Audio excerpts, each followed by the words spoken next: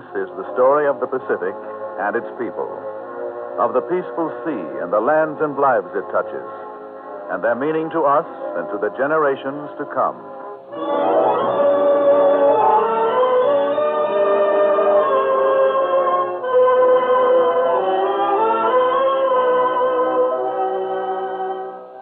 The Pacific Story, presented by the National Broadcasting Company as a public service and dedicated to a fuller understanding of the vast Pacific Basin. This broadcast series comes to you as another public service with drama of the past and present and commentary by Owen Lattimore, authority on the Pacific and director of the School of International Relations, Johns Hopkins University.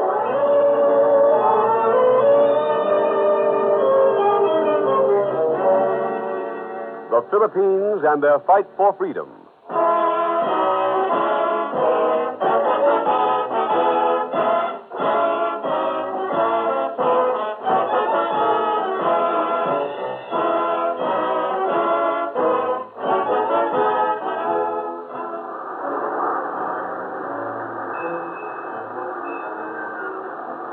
After day, day after day, nothing but sea. Patience. You must have patience. Patience. Three months have passed, Father, since we sailed through the straits named for our captain. We must believe in our Captain Magellan and trust in God. Oh, I knew when we sailed from Spain that we would never get back. We will never find the Spice Islands by sailing west, Father. We're lost. Captain Magellan has brought us through every danger. No, no, we're lost, Father. The only land we've seen in the last three months were those rocky islands. And we found neither food nor water on them. There was nothing on them. Quiet. Here comes Captain Magellan. Huh? Oh, yes. I, I must get back aloft. The men are still complaining, Father? Oh, they are anxious, Captain Magellan. Every eye is straining for landfall. It is more than three months now. There is a western route to the Spice Islands, Father. There must be. Our food is running low. This Men sea must end somewhere. Somewhere. But where? If the Spice Islands can be reached from the east, they must be reached from the west.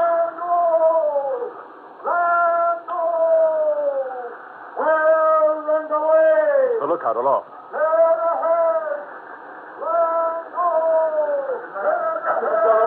The lookout aloft reports a landfall dead ahead. Dead ahead.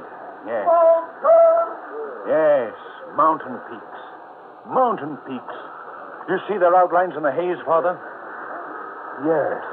I see them, Captain Magellan. Praise God. Deo oh, gracias. We will sing a Te Deum. Land, but not the land they sought.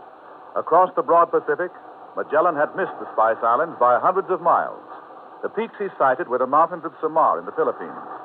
At Limasawa, though he was a Portuguese, Magellan was to plant the flag of Spain and mark the start of Western Empire in the Pacific.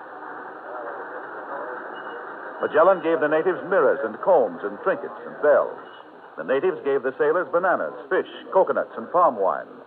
With Chief Sula and his people, Magellan enjoyed cordial relations for six weeks. We value your friendship most highly, Chief Sula. That is why I have come to you. Well, how can I help you? Chief Lupu Lapu is our enemy, and yours too. Yes. Chief Lapu Lapu has resisted all our gestures of friendship. We must conquer Lapu Lapu, or we never be safe. How many soldiers will you need? Lapu Lapu is strong. Yes. But he's no match for our arms. He is cunning and fierce. We will crush him. But my men know the strength of Lapu Lapu. You and your men, Chief Zula, need not fight. You need only to look on and see how Spaniards fight. I will send word to Lapu Lapu, commanding him to submit. Magellan sent word to Lapu Lapu, commanding him to submit to the Spanish flag. Lapu Lapu's answer was as direct as Magellan's. He would resist. With 60 men in three boats, Magellan sailed down the coast to the stronghold of Lapu Lapu and there went ashore. Perhaps it were best, Captain, if I approach Lapu Lapu once more. No, Father. he would take your life. But we have firearms, and they have only arrows and spears. We will deploy here on the beach and then advance. Uh, the village on the fringe of the jungle there seems to be deserted. Lapu Lapu is wily. His men are concealed. The ship's company is in order and ready for the advance, Captain Magellan. Good. We'll advance at once, according to our plan. Give the order. Yes, sir. Father, yes, Captain. you will remain behind, here with the rear guard. My place is with the men. You will be more valuable here. As you say, Captain Magellan. Company! On guard!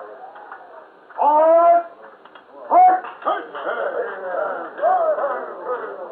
Heart is pounding, Father. Our men are advancing right into the jungle. They can see nothing. Lapulapu's men are helpless before our guns. Look, look, there they are. They're shooting arrows. The captain has opened fire on them. Look at the natives. Look at them leaping out of the brush. They're swarming down on our men. Our men are falling back. They're driving us back. Look, their village. Lapu Lapu's village is afire. They're driving us back. Where does all those natives come from? Come on, we must join the captain. Yes, I have my gun. Captain, Captain Magellan! Captain, look out! That spear! And just round and fight you! Captain! Oh! Pull out that spear! Yes, sir. Captain! Lieutenant, it is bad. Oh, Father. Go back to the boat. No, no, no. I'll stay here with you. You cannot help me, Father. Order the men back to the boat. Back to the boat. Here, let me lift you. We, we must get No. you back to the. Oh. My life spent well. Uh, my life. Captain Magellan. Captain. Captain.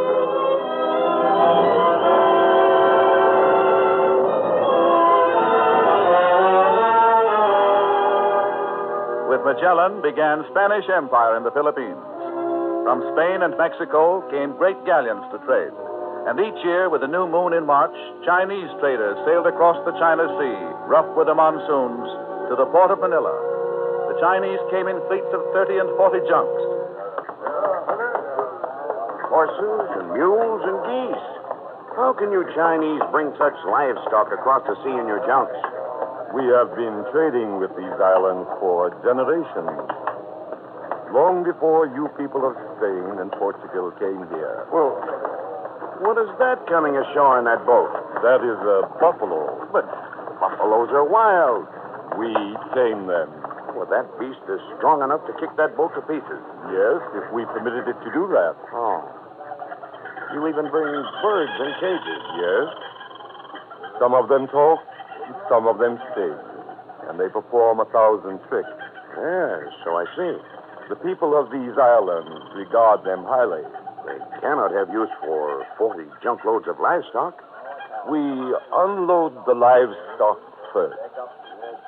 But we have also brought silks, brocades, and furniture, pearls and gems of all kinds, fruits and nuts, and many gewgaws and knickknacks, which you Spaniards, as well as these people, may hold in high esteem.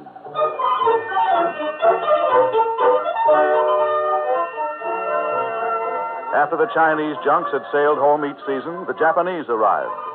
Their ships brought wheat, silks, objects of art, and weapons. They traded in the islands of the Philippines, and when they left, We are taking back to Japan gold, deer horns, wood, honey, wax, palm wine, wine of Castile, and the raw silk. We shall return next season with more merchandise. From Malacca and India came other fleets of trading ships, manned by Portuguese subjects of Spain. All right, move over there. Move. Get over there, you. Move. Turn them up on the beach. Keep them together. Keep them together over there. Where did you bring these slaves They from? are Kaffirs from Africa. Oh, they make good slaves. We've had a bad passage. Trouble with them all the way. Keep them moving over there. Yeah. We've got to get them unloaded and sail with the ebb. The rich productions of Bengal, India, Persia, and Turkey came to the Philippines.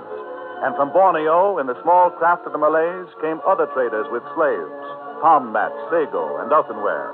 From Siam came traders with the wondrous products of Cambodia, Manila had become a trading center for all the countries of the East. With the trading ships came immigrants from many lands Chinese, Arabians, Malays, Indians, Japanese. Spanish galleons came laden to the gunwales with merchandise and Mexican gold and Spanish soldiers and colonists. The Spaniards and Mexicans settled in the islands and blended with the island peoples from all over the Orient. Out of this mixture rose the Filipinos, a people linked with the culture of the East, but partly Western in language, law, custom, and religion.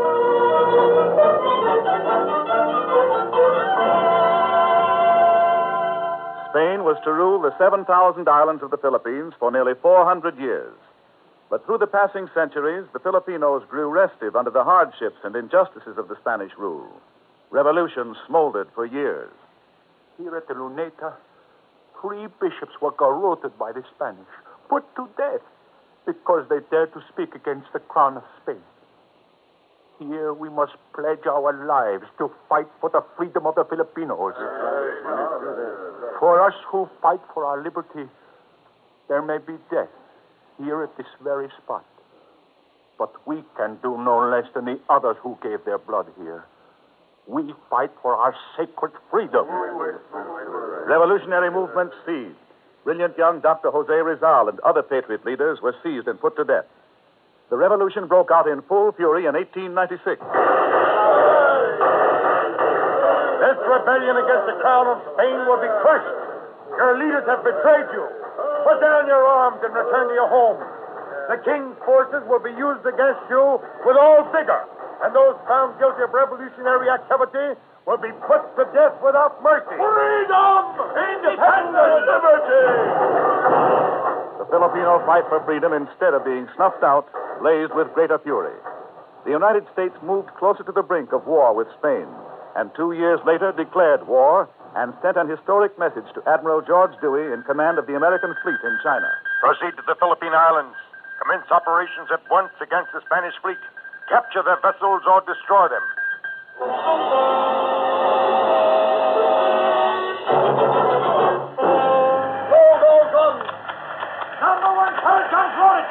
Three, sir, guns loaded, sir. All guns loaded, Admiral Dewey. You may fire when ready, Gridley. Yes, sir. All guns, fire!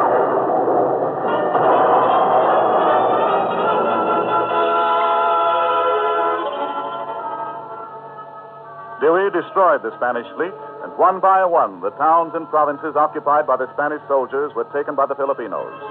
In June 1898, the independence of the Philippines was declared at Kawit, and on August 13, 1898, the Americans and the Filipinos captured the city of Manila.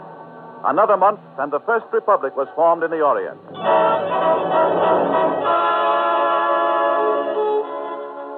But grave days lay ahead for the Philippine Republic. Almost before the sound of the guns had died out, the representatives of the various provinces met and discussed the problem. What do we gain, gentlemen, to throw off the yoke of Spain only to put down the yoke of America? But America is our friend. Spain was not. Friend, Admiral Dewey encouraged us to fight the Spaniards and then would not permit us to enter Manila after we had helped capture it. The Americans betrayed us. No, no, no. President McKinley said the Philippines were not America's to exploit, but to develop, to civilize, to educate, and to train in self government. America wishes only. America did not conquer the Spaniards for us. We conquered them. The Americans only came in at the last. Yes. And now Spain has turned over the whole of the Philippines to America. The Americans wish If only to. the Americans have any claim at all, they have only the right to the territory which they themselves took from the Spanish soldiers. We Filipinos must remember that the Americans helped us. Our fate is no better under the Americans than under the Spaniards. We have fought this far for our independence. If we must fight the Americans, then let us fight them. Yes. yes. War. War War on the Americans. Sure. War. Down with America! Fight America! War! The two friends were at each other's throats. The Filipinos organized guerrilla bands, struck suddenly, disappeared into the forest, struck again, moved and struck. For years, they had been gathering arms and ammunition to use against the Spaniards. Now they turned them on the Americans. General Aguinaldo has crossed the Cordillera Central and is hiding in the hills, General Funston. The most effective way to end this guerrilla warfare is to capture Aguinaldo. Aguinaldo knows every foot of ground in these hills and jungles. Unless we take him, we must hunt down and destroy his guerrilla bands one by one. General Funston, Yes, Lieutenant? look at these letters. We took them from a messenger we've just captured. Whose messenger was he, Lieutenant? Aguinaldo's, I think. Hmm. This is a letter from Aguinaldo to one of his generals asking for more troops to be sent up to Palanan. Ah, so that's where Aguinaldo is. Palanan. Ah, this is what we can do. We will go to Palanan disguised as prisoners of some of Aguinaldo's men. Disguise some of our troops as Aguinaldo's guerrillas? We'll dress a company of Macabebe troops as guerrillas. We'll go to Aguinaldo as if we are their prisoners. I think we can get to Aguinaldo that way. Our task then will be to capture him and bring him back. General Funston took with him Hilario Tal Placido, who had been one of Aguinaldo's officers. Placido sent a message ahead to Aguinaldo telling him that the reinforcements he wanted were on their way to him with five American prisoners. For days, General Funston and his party pushed through the dense country, swimming rivers, pushing their way through forests, climbing steep mountains. Aguinaldo sent a message back to Placido telling him to bring the reinforcements directly into Palanan, but to leave the American prisoners at a barrio six miles distant. In spite of these orders, General Funston and his entire party, all in disguise, went directly into Palanan. General Funston, some of Aguinaldo's officers are coming out to meet us. Get into the bushes, Colonel. Placido. Yes, General Funston? We five Americans will stay here, hidden in these bushes. You and your soldiers go with Aguinaldo's officers to his house. When you reach there and are sure that he is there, signal to us. Yes, sir. Get into the bushes. The officers are almost here. Placido and an interpreter named Segovia went with Aguinaldo's officers directly to Aguinaldo's house. Aguinaldo's house was under the heavy guard of troops with fixed bayonets. Placido and Segovia greeted Aguinaldo, who was surrounded by seven of his officers, all carrying revolvers. Placido and Segovia went into the house with Aguinaldo and his officers. Placido entertained them with stories of their long march, bringing up the reinforcements. Suddenly, Segovia stepped to the window and shouted. Now is the time, Macabebe! Give it to them! Aguinaldo stepped to the window and shouted. Stop that foolishness! Don't waste your ammunition. Aguinaldo, you are a prisoner of the Americans. Let me go! Here, please, go! Let go of Aguinaldo! Attention. Attention. General Aguinaldo, you are under arrest. Arrest? Is this not some joke? Who are you? Frederick Funston, sir. We are going back to see the American general in command.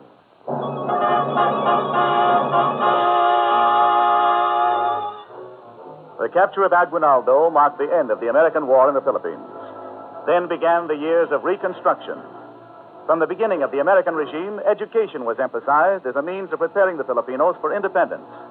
By the time the Tydings McDuffie Act was adopted in 1934, providing for complete independence for the Philippines in 1946, the world was in a ferment. Observers regarded the plan with misgivings. This is no time to promise the Philippines independence in 1946. You mean because of Japan? Sure. Japan's straining every resource getting ready for war. She's taken Manchuria, and she's trying to penetrate into North China. What chance would the Philippines have if the United States wasn't there? We've been promising them independence ever since we moved in there at the turn of the century. I know, but this is no time. It's not only Japan.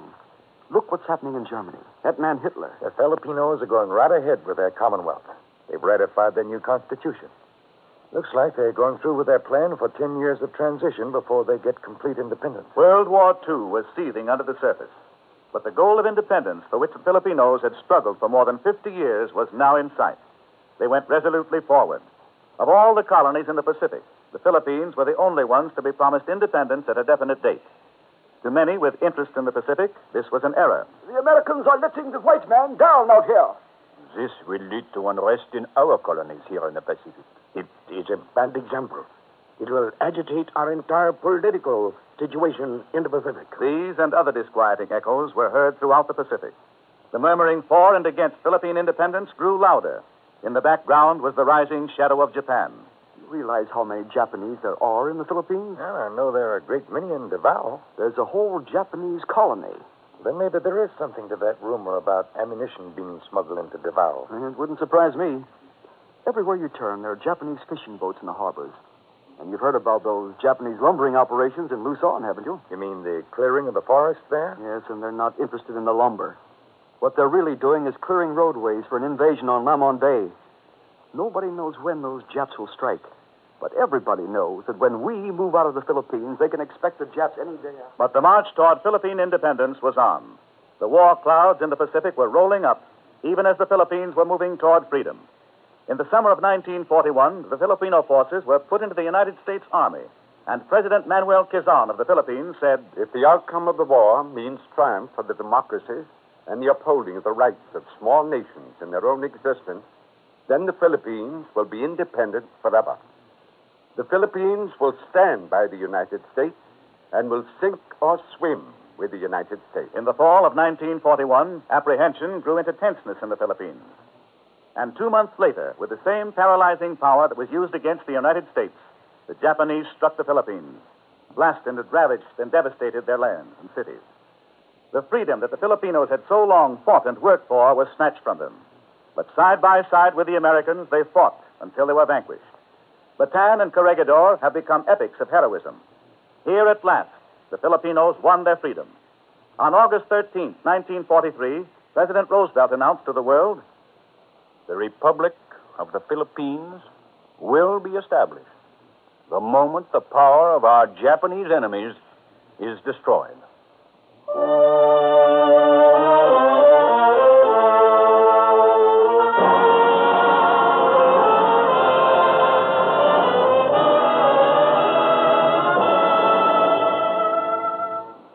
Half a century of fighting and preparation for freedom, the Filipino people face with the United Nations the enormous task of reconquest of their homeland. They face the task before them with confidence. Their leader has said, the Filipino people are proud and grateful to be one of the 32 United Nations and to have the President of the United States as a warm and sympathetic friend.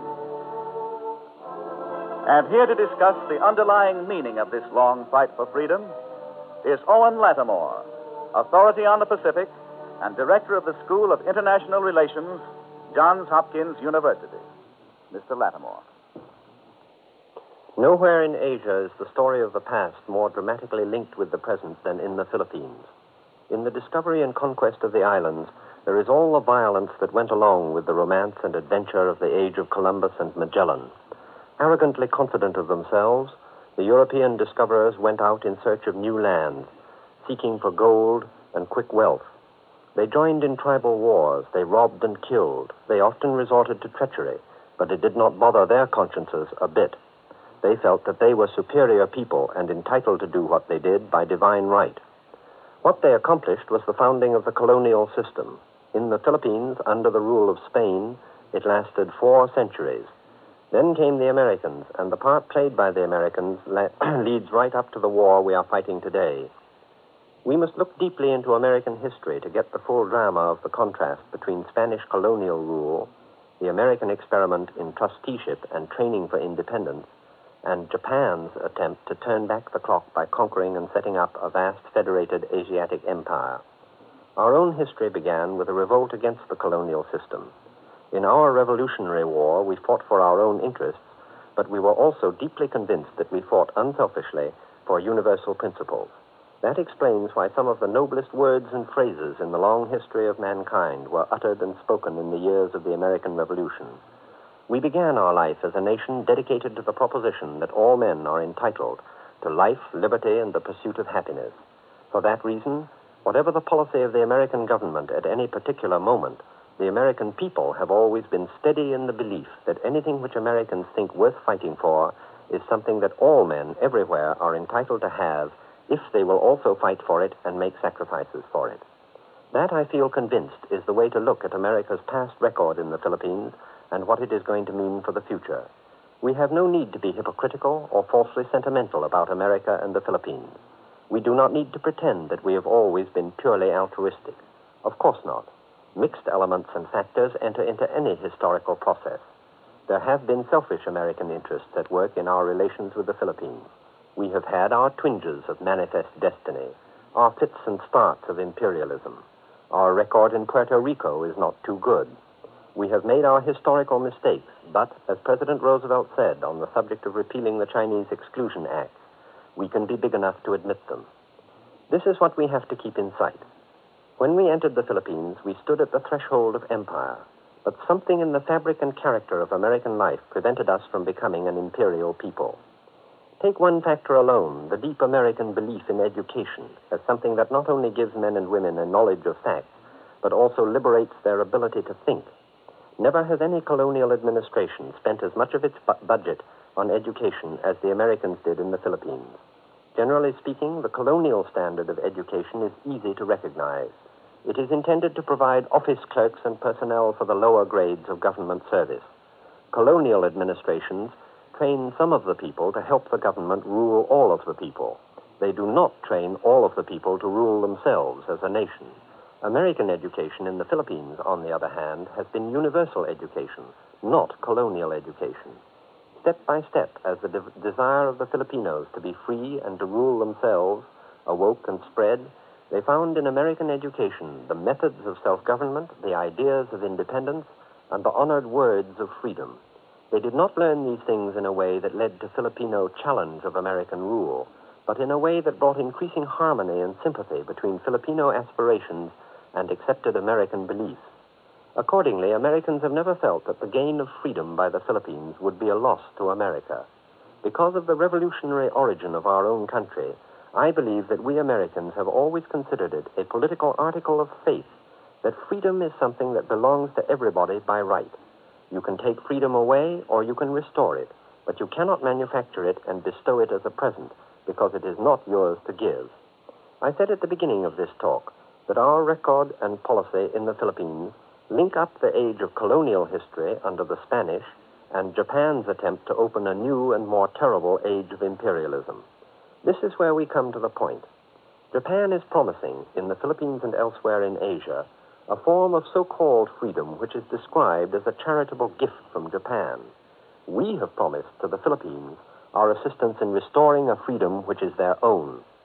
Combine this with American policy toward China, where we have renounced all extraterritorial rights and imperialistic privileges and are now taking steps to recognize racial equality in addition to political equality. The combination can mean only one thing. American policy is already in action far beyond the Pacific. In that sense, American isolation is already a historical curiosity. Policy, however, is a thing that develops only step by step. In addition to policy, I think we can discern a permanent American attitude implemented step by step in our policy toward the Philippines and China. The best way I can describe this attitude in the fewest words is to say that, in my opinion, Americans do not feel called upon to declare independence for other people. But we do feel, when other people strive for their independence, that we must respect the claims of others when they are claiming that for which we ourselves demand respect.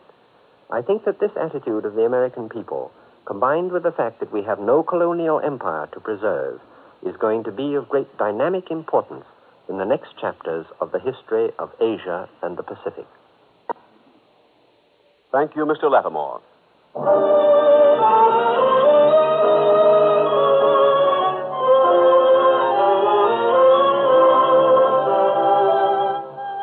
Next week, at the same time, over most of these stations, the National Broadcasting Company will present another program on the Pacific with drama of the past and present and dedicated to a fuller understanding of the vast Pacific Basin. A reprint of tonight's Pacific Story program is available at the cost of 10 cents. Send 10 cents in stamps or coin to the University of California Press, Berkeley, California. The address again University of California Press, Berkeley, California.